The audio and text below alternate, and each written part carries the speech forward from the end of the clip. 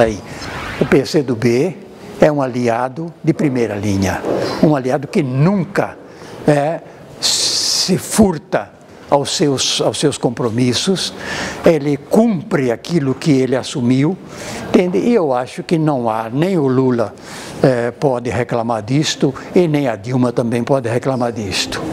Às vezes eu fico imaginando, hoje eu sou um comunista de poltrona, entende? Fico na minha, no meu cantinho sentado, mas fico assistindo uh, o noticiário, a televisão, e eu vejo lá PCdoB defendendo o governo.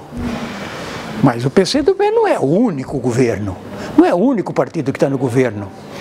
Acima de tudo, tem um partido que é o partido do próprio governo, da própria presidente.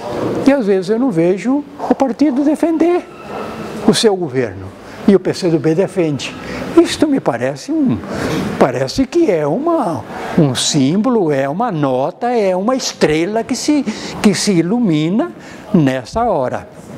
E eu acredito que uh, passamos por turbulências, é verdade, entende? Agora, é uma crise internacional, não, só, não é só o Brasil que passa por essa crise, tem outros países também passam por essa crise, e às vezes até piores.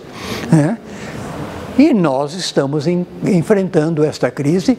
Agora, é preciso também que reconheçamos se cometeram erros. E esses erros agravam mais ainda a situação da crise.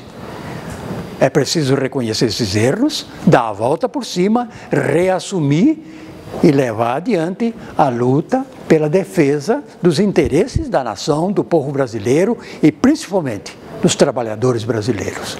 E é isto que o PCdoB vem fazendo e eu tenho certeza que ele será recompensado por esta luta.